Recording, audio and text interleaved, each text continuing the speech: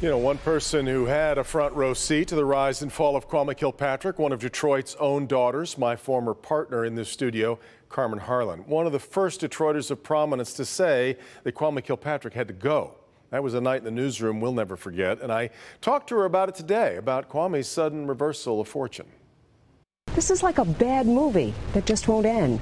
We can't take it anymore, and neither can you, Mr. Mayor.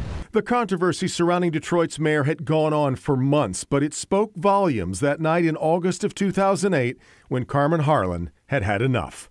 But this time, sorry isn't enough. We need you to go home. Make things right in your home. We need you to resign immediately. Good to All see right. you, if only if only digitally. These many years later, Carmen has of course moved on, and she thinks Detroit and Kwame Kilpatrick should too. I guess I'm reflecting back on the last two weeks, Devin, and knowing how divided this country is and knowing how judgmental we, you know, can be toward one another. I think right now what we need to do is just listen and with an open mind and maybe even an open heart to why people who we think should know better don't.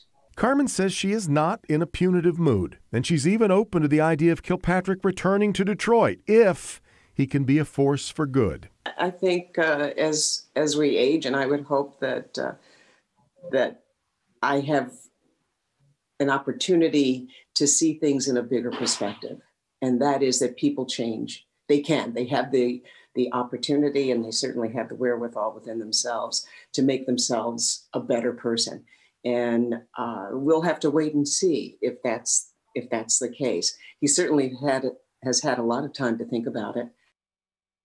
And you can watch Carmen's commentary from 2008 right now and ClickOnDetroit.com, or as we have long referred to them, a Carmentary. It's on our website right now.